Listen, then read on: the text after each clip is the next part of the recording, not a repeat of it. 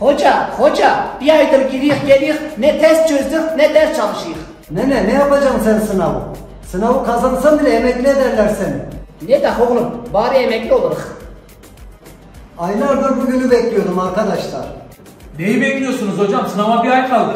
Bu test kitabını bekliyorum. Alın çözün. Dershaneye bile gelmenize gerek yok.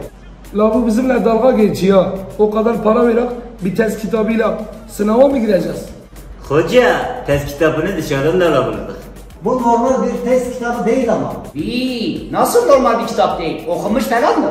Bu sene şanslı dershane biziz. Ne diyor lan bu? Ne mi diyorum? Sınavda bu test kitabındaki soruları soracaklar bu yıl.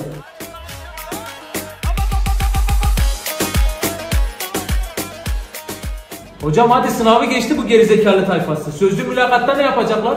Ulan cevapları çaldıysak onun da çözümünü bulduk elbet. Bizden giden arkadaşlara kolay soru soracaklar mülakatta.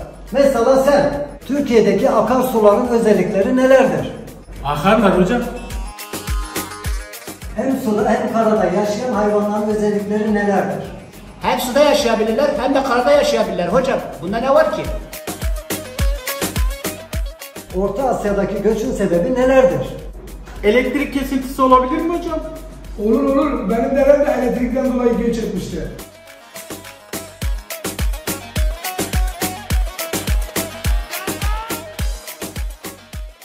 Bu salaklara soru falan sormayın. Aradım size soru falan sormayacaklar. Hocam hadi sınavı geçtiler, mülakatı da geçtiler diyelim. Bu gerizekalılar halka nasıl hizmet edecek? İyi, size ne lan dersiz? Abdegedeki sıfatıya vur ama. Hocam siz benim dershane üyeliğimi iptal iyisi. Niye ne oldu ki? Ben başka dershaneden çalışarak gireceğim sınava. Kulak yemek istemiyorum. Sen yemezsen başkası yiyecek hakkını ama. Ne ben hak yiyeyim ne başkası benim hakkımı yesin. Ben sınava falan girmiyorum. He bir de hocam KPSS'ye KTSS denmeli artık bence. KTSS Kamuya tanıdıkları sokma sınavı.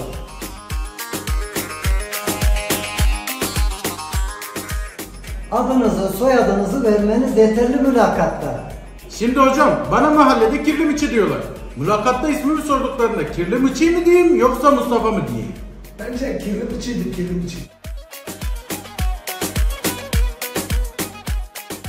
Bu salaklara adını da sormayın.